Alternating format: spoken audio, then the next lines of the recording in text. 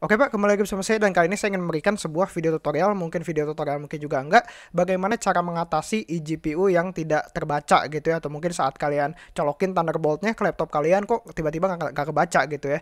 Dan di sini saya sebenarnya udah colokin untuk eGPU-nya ke laptop saya gitu, dan saya juga udah nyalain untuk uh, eGPU-nya dan kipasnya juga lagi muter gitu sekarang. Tapi saat saya buka Thunderbolt gitu ya untuk aplikasinya di sini tidak muncul gitu ya. Dan kalian bisa langsung matiin aja untuk eGPU-nya dan kalian juga bisa mungkin bisa bisa coba dulu untuk uh, buka Thunderbolt Control Center dan nggak ada juga untuk device-nya. Jadi di sini kita akan uh, matiin dulu dari power supply-nya, jangan dari kabelnya kalian cabut jangan gitu ya. Di sini kita akan cabut dulu untuk eGPU-nya. Oke, jadi di sini sebenarnya saya udah matiin ya. Tadi udah matiin untuk eGPU-nya, tapi nggak ada suara disconnect sama sekali atau apa pun. Jadi ini kayaknya ada masalah pada koneksinya gitu ya. Jadi yang harus kalian lakukan adalah ke control panel gitu ya. Kalian ke control panel dan kalian cari aplikasi yang bernama Thunderbolt. Di sini kita akan uninstall ya, uninstall program. Dan di sini kita akan klik yang Thunderbolt ini. Kalian klik kanan dan kalian klik uninstall aja. Dan setelah itu kalian klik yes gitu ya. Kalau misalnya ada yang kayak gitu, kalian klik yes aja dan di sini tinggal kalian uh, tungguin gitu ya sampai beres gitu. Di sini untuk uh, menguninstall gitu ya, menguninstall kita akan tunggu sampai beres dan di sini kita akan update drivernya lagi secara otomatis gitu. Uh, maksudnya aplikasinya secara otomatis tapi untuk update drivernya di sini kita akan manual ya karena di sini kita harus suntik ke update atau ke versi yang paling baru gitu. Nah, setelah itu kalian udah beres gitu kan kalian bisa exit gitu kan dan di sini kalian bisa langsung nyalain lagi untuk eGPU-nya ya dari power supply. Di sini kita akan nyalain.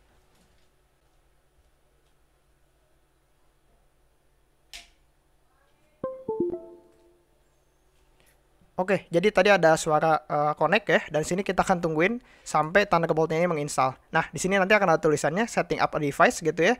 We are setting up uh, dalam tanda kutip base system device. Di sini kita akan tungguin sampai beres mungkin 2 menit atau 3 menit sampai muncul gitu ya untuk uh, Thunderbolt-nya sampai terinstall lagi gitu. Nah, nanti akan ada suara gitu lagi dua kali gitu ya. Nah, di sini nanti akan ada tulisan external GPUs are not supported by this computer. Dan di sini kalau ada tulisan kayak gitu kalian biarin aja karena ujung-ujungnya sih nggak ngaruh kalau kalian udah install driver masih tetap bisa. Dan kalian cukup klik kanan start lagi, kalian cukup ke device manager ya. Nah, di sini kita akan mensuntikan update Thunderbolt-nya ya. Aplikasi Thunderbolt-nya ini di sini kita akan update. Karena kalau kalian nggak update, kalau kalian di sini buka aplikasi yang bernama Thunderbolt Control Center ini nggak akan kebaca untuk eGPU kalian ya. Jadi di sini kita akan exit aja dulu. Di sini kita akan klik kanan, lalu kita akan properties. Dan di sini kita akan uh, lihat untuk drivernya, tab driver. Dan di sini kalian bisa melihat untuk driver date-nya adalah 2016 dan sekarang adalah 2020. Berarti kita harus update drivernya. Kalian bisa ke website Intel atau mungkin kalian bisa cek di deskripsi di bawah. Nanti saya akan kasih linknya. Di sini kita akan klik yang browse gitu ya. Jangan pakai yang Windows Update karena pakai yang Windows Update nggak benar gitu ya.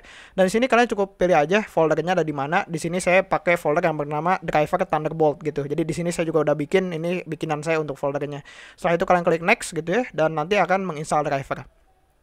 Setelah itu nanti akan ada tulisan Windows has successfully updated your drivers. Di sini kita akan close dan nanti akan berganti gitu versinya ke 2019 ya. Walaupun 2019 dan ya nggak jadi masalah sih ya. Ini versi terbaru dari Intel. Mungkin nanti akan ada update lagi tapi ini bisa dipakai untuk uh, driver dari eGPU kalian. Nah setelah itu kalian bisa close dan kalian bisa exit aja dan kalian bisa coba untuk buka lagi aplikasi Thunderbolt-nya. Tapi tadi kalian juga bisa melihat kan kayak blinking gitu kayak ngedip gitu tiba-tiba hilang kalian bisa langsung buka aja Thunderbolt software software ya, Thunderbolt software dan nanti akan kebaca gitu untuk aplikasinya. Oke, nggak kebaca gitu kan untuk aplikasi di sini, tapi kalau kalian buka Thunderbolt Control Center itu nanti akan kebaca gitu.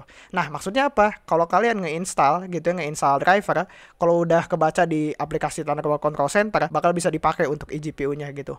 Kalau di sini nggak nggak ada pun nggak jadi masalah sih yang penting ada di Thunderbolt Control Center di sini. Karena di sini kita akan menginstal gitu ya. Sini sekalian aja saya install untuk drivernya ya. Sini kita akan menginstal untuk driver dari VGA saya gitu.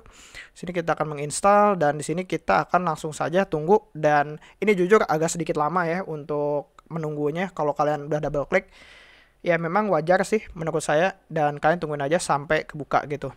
Dan untuk aplikasi ini kalian bisa dapetin di Windows Store secara gratis gitu ya. Tapi kalau kalian belum update Thunderbolt kalian kayak yang tadi saya lakukan di Device Manager belum kalian suntik gitu untuk update-nya, di sini nanti nggak akan bisa gitu. Kalau walaupun kalian udah cari aplikasi yang bernama Thunderbolt Control Center, itu walaupun ada ya bisa dicari bisa diklik tapi di sini saat kalian install nanti akan muncul error. Jadi kalian pastiin aja untuk suntik dulu untuk update-nya lalu kalian install ya untuk driver Thunderbolt ini.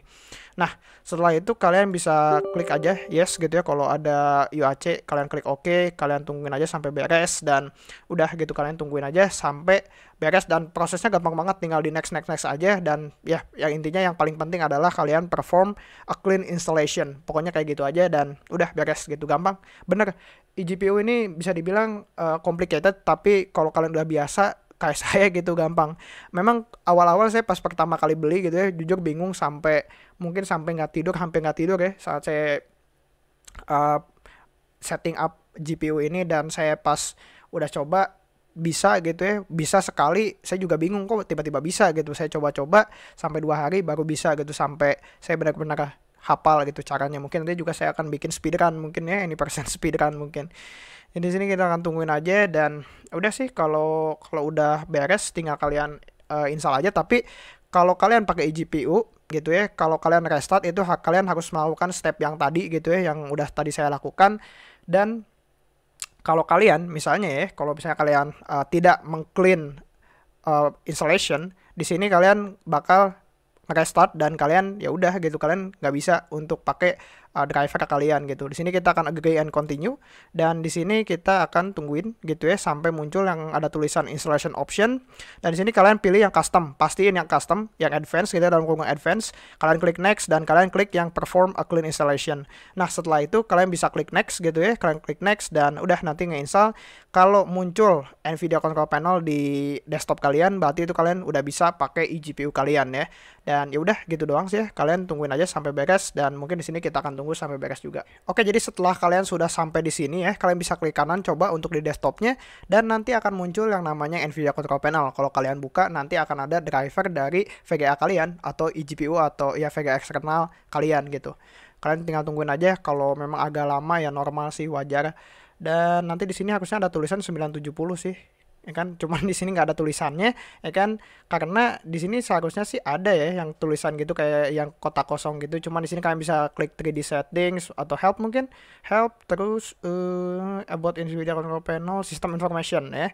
Di sini kalian bisa melihat untuk sistem informationnya kalian bisa melihat di sini ya. Cuman di sini nggak ada uh, VGA apa yang kalian pakai. Di sini ada tulisan 256 bit itu adalah VGA saya dan dari kuda core-nya adalah 1664 deh. Berarti udah pas gitu dan kalian juga bisa coba langsung uh, di game mungkin. Kalau kalian masih nggak percaya coba di sini kita akan buka DX Diag gitu, DX Diag. Di sini kita akan lihat apakah VGA-nya udah terbaca atau belum. Sebenarnya sih ini udah, udah terbaca ya untuk VGA-nya. Display satu mungkin uh, di sini oh 530 ya, display 2, 530, display 3 ya. De display 3-nya di sini kalian bisa melihat Nvidia GeForce GTX 970 dan ya itu adalah VGA eksternal saya. Kalau kalian pakai 1060, kalian pakai 1050 atau mungkin 1070 atau mungkin RTX ya nanti akan ada tulisannya di situ. Dan ya jadi cukup segitu doang sih untuk videonya dan thanks for watching. Bye bye.